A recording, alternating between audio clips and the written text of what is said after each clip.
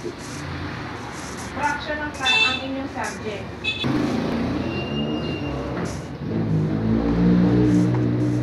Okay Oh, pa na. follow ko lang kung ilan, Ah, kasi- natin cursive na. So, magpa-practice kayo mag-cursive na. Kasi sa grade Lalagyan mo nyo, ng sagot. ayan, face cursive na kayo, lalo na ang grade 3. So, yan po naman ay yung mga ano pa natin. Ano? Uh,